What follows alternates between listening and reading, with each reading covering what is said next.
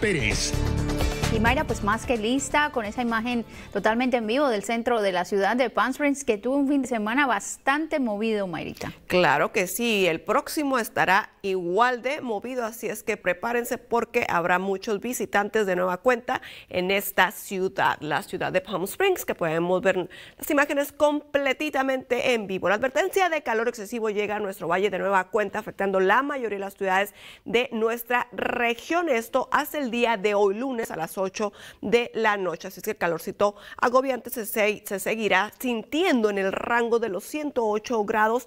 Tal fue el día de hoy el caso para la ciudad de Terbal, en donde el mercurio volvió a registrar temperaturas bastante calientes y también los vientos llegan a nuestro valle. Eso se mantendrán vigentes por lo menos hasta el día miércoles de 5 hasta 30 millas por hora, afectando mucho lo que es el alto desierto. Así es que para todas las personas que viven por esas áreas, a manejar con bastante precaución. En estos precisos momentos las máximas alcanzan el rango de los 108 grados para la mayoría de las ciudades de la región. 29 pounds en los 103 grados. La humedad relativa se mantiene en un 25% para la ciudad de Indio, sin embargo, lo que es la ciudad de La Quinta, Palm Springs 26 y Thousand Palms en los 33% se siente bastante humedad en el ambiente, ya mañana empezará a decaer un poco. El día de hoy las máximas en el rango de los 106 grados para lo que es el área de Termal, el pronóstico extendido de 7 días lo podemos ver en su pantalla la nubosidad creciente llegará para el día de mañana, ya se comienza